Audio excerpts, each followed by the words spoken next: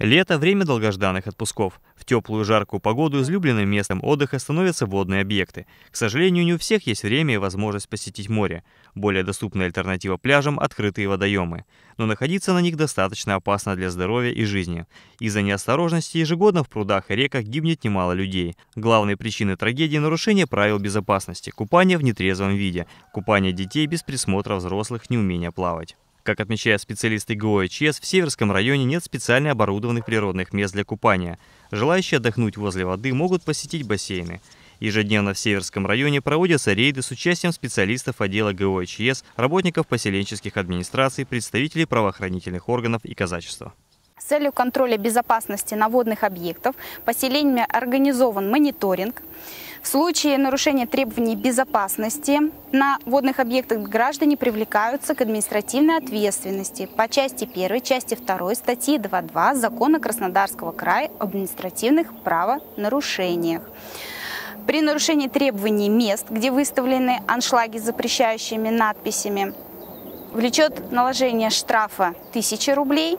В случае купания в состоянии алкогольного опьянения влечет наложение штрафа до 300 рублей. Как отмечают специалисты ГОЧС, ни одно профилактическое мероприятие, каким бы масштабным оно ни было, не может гарантировать отсутствие главных трагических исходов. Простая внимательность и осторожность отдыхающих к себе и к своим близким – главное условие безопасного отдыха вблизи водоемов. Лето – прекрасная пора. Это время каникул, интересных встреч и веселых развлечений. В станице Новодмитриевска прошел районный смотр клубных учреждений по организации летнего досуга детей и подростков «Мы живем в гостях у лета». Организатором мероприятия уже не первый год выступает Управление культуры. Пусть сегодняшний конкурс будет не просто соревнованием, а возможностью показать, какие интересные программы есть у каждого поселения. У нас сейчас работает 17 площадок, но на каждой есть что-то свое, что-то особенное.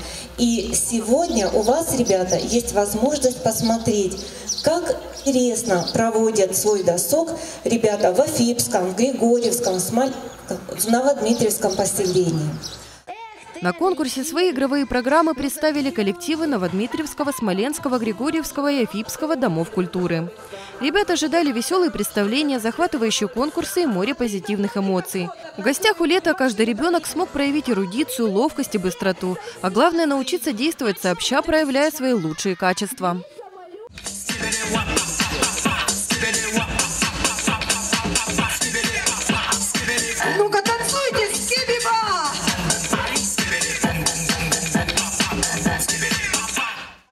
Экватор летних каникул прошел, и скоро ребята вернутся за парты. А потому яркие мероприятия помогут им запастись незабываемыми впечатлениями на весь учебный год.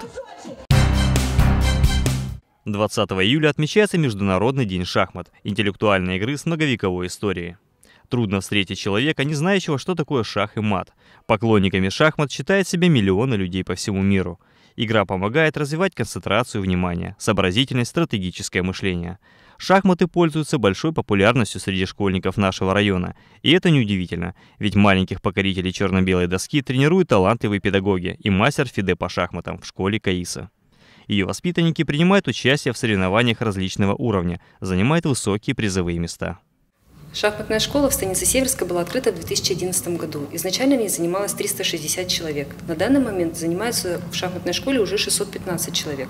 Отделения открыты по всему Северскому району. Это и поселок Афипский, станица Новодмитриевская, э, поселок Черноморский, село Львовское, станица Азовская, станица Смоленская, где в общеобразовательных школах работают тренеры от шахматной школы и занимаются с детьми.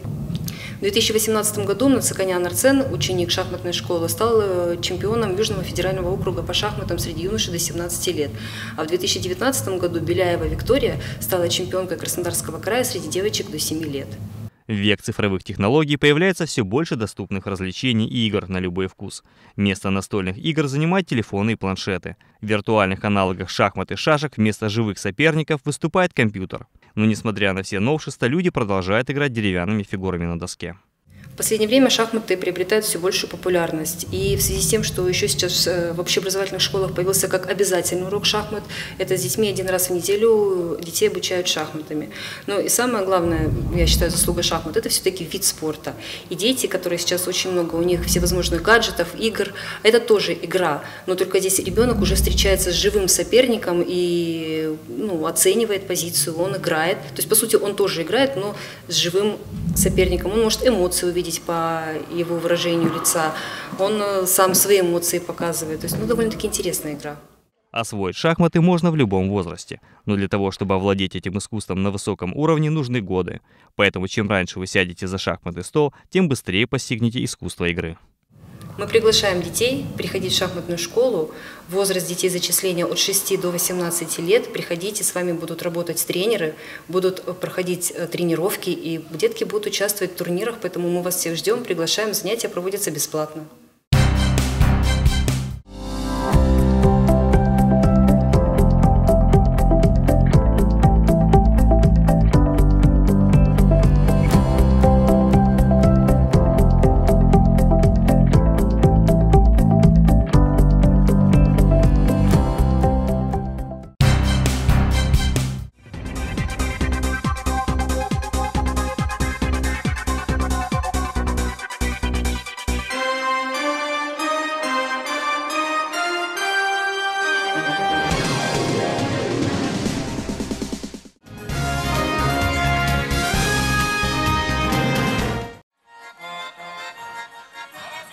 Сибирь, известная на весь мир своими бескрайними просторами и суровыми зимами, летом лучшее место для знакомства с традиционной культурой России. В поселке Шушинское в Красноярском крае проходит фестиваль этнической музыки и ремесел «Мир Сибири». В этом году впервые под эгидой ЮНЕСКо.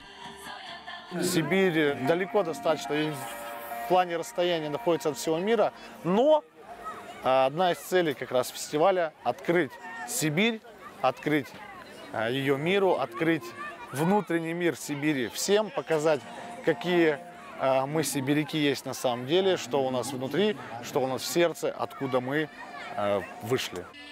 Раскинувшаяся от Европы до Дальнего Востока, Россия – родина самых разных народов. Это мастер-класс по игре на якутском хамусе, разновидности варгана. Неотъемлемый атрибут шаманов, в Якутии этот инструмент до сих пор считается священным. Должны понять, что а звук может образовываться при выдохе и может образовываться также при вдохе. Такие амулеты украшали русские дома. Издревле их плели из лоскутков старой одежды. У хорошей хозяйки ничего не пропадало даром. Женщина, когда делает красивую вещь, она всегда в это вкладывает свою душу, свои мечтания, может быть, свои представления о правильной жизни – бусинки, которые висят на наших оберегах, прикрепляя бусинку, она сюда э, всегда э, включает свое желание вот э, в жизни на будущее, в надежде на то, что все исполнится. Новинка ежегодного фестиваля – клубничная дегустация. Варенье варят по старинному рецепту. Наше фестивальное варенье, оно с наговором на здоровье. А наговор этот значит, передала мне бабушка по наследству. Поэтому я с удовольствием сегодня поделилась им. Вот, и желаю всем крепкого здоровья. Гордость фестиваля – гости со всего мира. Под вечер на сцене выступления музыкантов из Франции, Израиля, Турции, Монголии и США. Сибирь это что-то мистическое, очень далекое. На слова про то, что мы будем выступать здесь в июле, нам говорили, о боже, там же так холодно. Мы отвечали, да нет, в июле в Сибири хорошая погода. Все очень удивлялись, особенно когда увидели наше выступление на этой большой сцене. Ежегодно мир Сибири посещают более 30 тысяч человек.